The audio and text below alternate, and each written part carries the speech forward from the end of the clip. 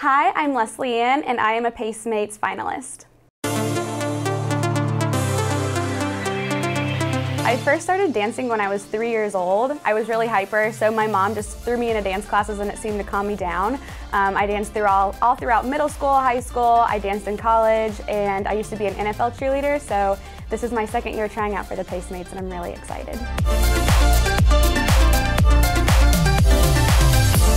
Dancing is just some place that I can actually be myself. Um, in my real life, you know, before I get to know you, I'm really reserved and kind of introverted, but I think that when I start dancing, that's when I become an extrovert and I become alive and sassy and I can just show people who I really am. Definitely ABBA. I know they're coming back and they're making a second album. Um, it's been like 35 years, but I love their music, I love their style, and I would love to do some disco with them.